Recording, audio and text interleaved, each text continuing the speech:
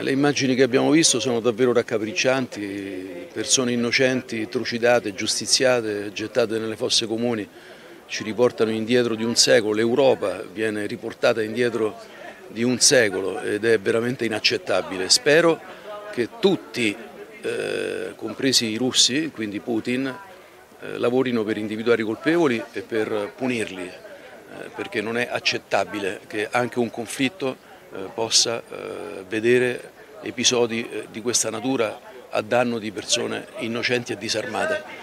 Detto questo è ovvio che ci debba essere intanto un'iniziativa diplomatica, ci deve essere un cessate il fuoco, ci deve essere un ritiro immediato delle truppe eh, russe, eh, Putin deve avviare delle trattative vere per interrompere questa mattanza del popolo ucraino eh, e arrivare comunque a una pace.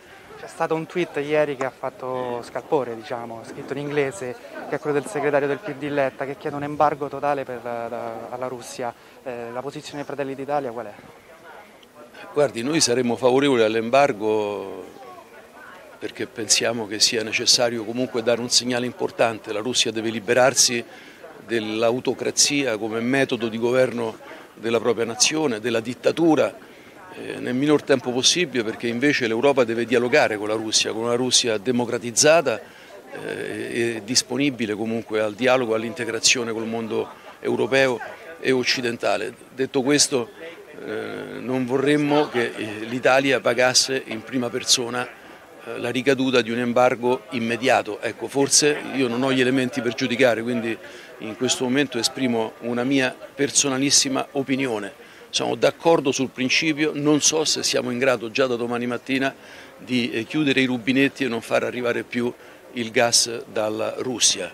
Ci dobbiamo arrivare perché dobbiamo essere autosufficienti e questo lo diciamo da anni, non governiamo e quindi non abbiamo potuto fare nulla da questo punto di vista per raggiungere l'obiettivo. L'ultima domanda, ieri Orban ha vinto le elezioni, c'è festa anche all'interno dei Fratelli d'Italia.